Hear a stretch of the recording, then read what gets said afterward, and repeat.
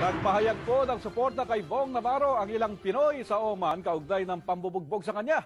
Naniniwala sila na makakamit ni Bong ang hustisya. May balitang bidali si Rowen Soldevilla.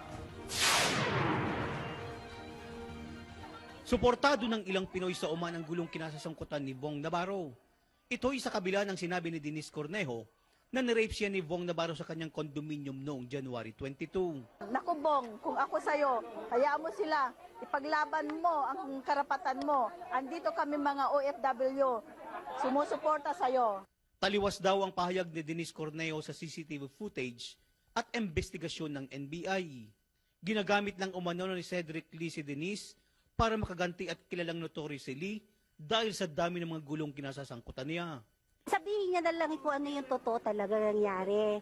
Dahil hindi naman din mananaig yung yung kasinungalingan sa katotohanan eh. Napakasinungaling po ni Cornejo. Dahil po halata naman po na nagsisinungaling po siya, tsaka halata naman po sa na-acting lang po yun. Mas magaling pa nga po siya mag-acting kay Bong Navarre. Kaya nakakagulat po yung nangyari. Tapos naawa rin po ako sa idol ko na si Bong. Pansin naman ng ilang OFW na natatabunan ng issue kay Bong Navarro ang mas mabibigat na usapin tulad ng kay Napoles at pork barrel. Napoles, dapat yun yung mga pinagtutuunan ng pansin at hindi yung mga personal na na buhay ng mga artista na yan. iwasan natin kasi pareho silang nagkamali eh. Dahil pareho silang may pareho silang may partner, pareho silang may commitment sa buhay nila.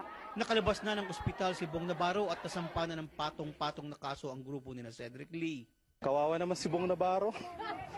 Dapat nagtatanda na talaga siya eh. Saka kung ano man ang talaga nangyari doon, sana magkaroon ng hustisya talaga. Nagbabalita sa Middle East, Rowan Soldevilla, Muscat, Oman.